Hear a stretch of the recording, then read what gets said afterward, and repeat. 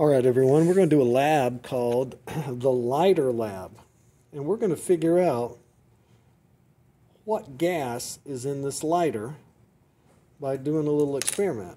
And all it takes is a graduated cylinder, some water, and a scale. Let's get started. First, we're going to weigh the lighter. Okay? And this scale goes down to the thousandth of a gram, so just the air moving in the room is going to make it change.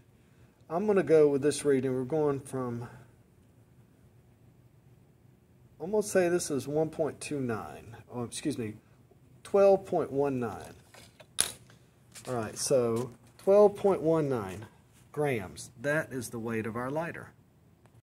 Next thing I'm going to do is I'm going to take this graduated cylinder and I'm going to fill it up with water. And by fill it up, I mean absolutely to the top where we can't put any more water in it.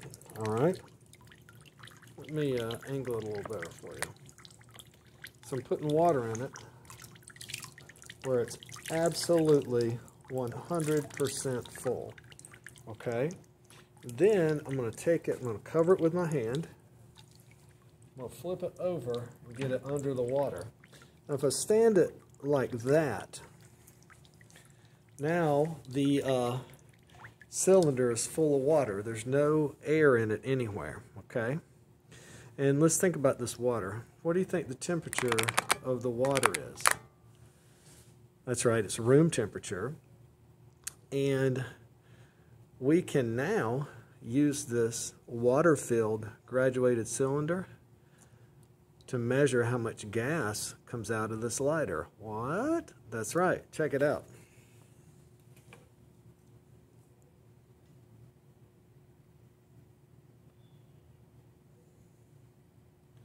Right now, I'm filling the cylinder with gas.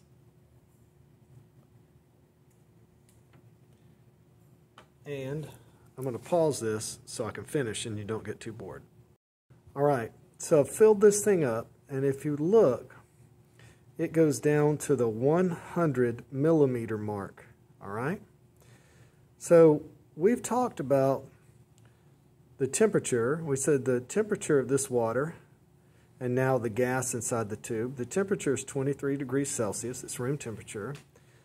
Well, the pressure in here now is also the same as the pressure in the room.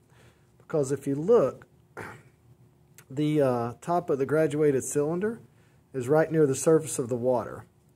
So the pressure in atmospheres inside of this cylinder is one atmospheres, is one atmosphere. And now we also know the volume of the gas. The volume of the gas in here is 0.1 liters. So if you think about it, we have all of the necessary data to calculate how many moles of gas are in this graduate cylinder. We have PV equals nRT. Let's do that real quick. So PV equals nRT. The pressure in here is one atmosphere. And since we're using atmospheres, our R is going to be 0.0821. The temperature in here is room temperature, so that's 296 degrees Kelvin.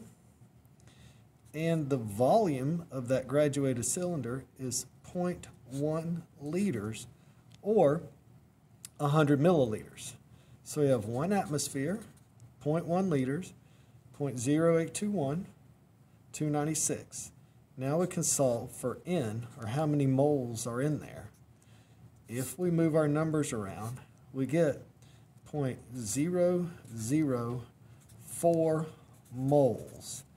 I just happen to already know this, okay? So N is equal to 0.004 moles. So what do we need to do now? Well, what we should do now is reweigh this lighter. But here's the thing the lighter is wet. So we have to go through a great deal of effort to dry it off.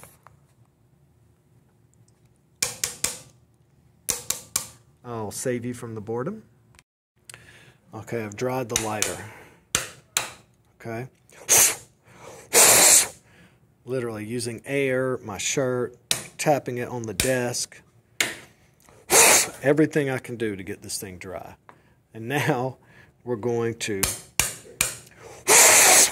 we're going to reweigh it. Let's do it. So the new weight is 11.942 or 11.94. Okay, so the lighter originally weighed 12.19 grams and now it weighs 11.94 grams. That means 0.25 grams of gas are missing from the lighter. Therefore, there are 0.25 grams of gas in the cylinder. We know from doing using the ideal gas law that there are 0.004 moles of gas in the cylinder. So now we know that 0.004 moles of this gas weighs 0.25 grams. So we could easily choose which one of these formulas is the formula for the gas in this lighter. Let's take a look. What is the weight of ethane? C2H6. That's 30 grams. 24 plus 6. What is the weight of butane? That looks like it's going to be 58 grams per mole. What is the weight of hexane? That looks like it's going to be 86 grams per mole. So if we think about it, we know how much 0.004 moles of either one of these gases weighs. For the ethane, 30 times 0.004 equals 0.12 grams. For hexane, 86 times 0.004 weighs 0.34 grams.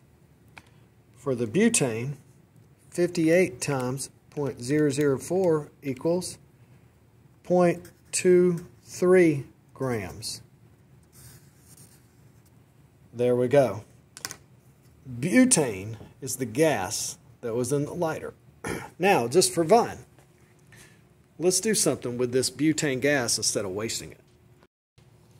I'm going to take this gas and I'm going to trap it in the cylinder and I'm going to take my hand off the top. Now, would you expect the gas to come out of the cylinder?